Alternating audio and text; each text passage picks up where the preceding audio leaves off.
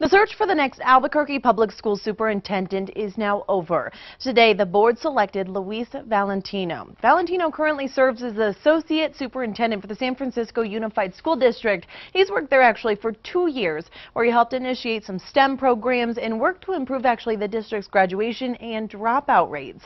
Before that, he was the Director of School Services in Los Angeles.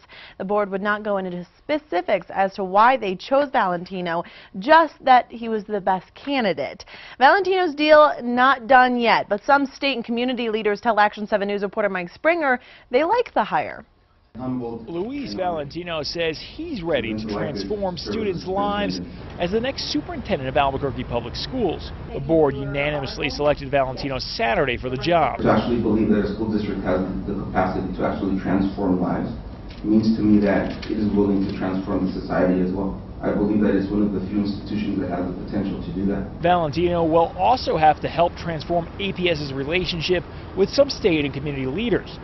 Former Superintendent Winston Brooks did not have the best relationship with Public Education Secretary Hanna Skandera. Brooks got into some hot water for a tweet he sent a reporter comparing Skandera to livestock. There was also pushback against PED's testing reforms. PED released a statement after Valentino's hiring saying it's looking forward to working with him and hopes to strengthen the relationship between APS and the state. The League of United Latin American Citizens says it's looking forward to working with Valentino as well. LULAC wants Valentino to tackle issues like truancy and teacher evaluations. He's got a strong background in education.